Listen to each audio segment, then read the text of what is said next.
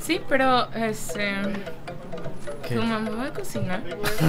es que. Pues sí, ¿por no, qué? la última vez que fui a tu casa, me, o, o sea, perdóname, pero me dio un dolor de panza porque se le quemó la comida y yo por quedar bien con mi suegra. No, o sea, no, no, no. Por favor, dime qué va a co- Ella me complementa. No quiero dejarla. Pero aún así me siento tan solo.